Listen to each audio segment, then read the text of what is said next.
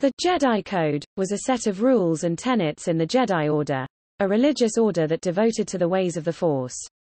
The code evolved over the course of centuries and applied to all members of the Order, from Jedi initiates and Padawans, to Jedi Knights and Jedi Masters.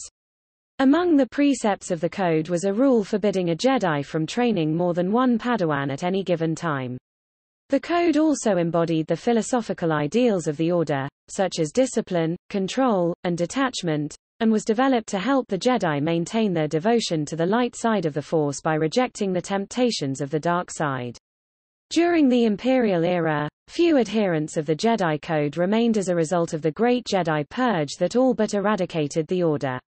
When the Order was rebuilt during the New Republic era, Jedi Master Luke Skywalker trained his apprentices, including his nephew Ben Solo, to adhere to the principles of the Jedi Code.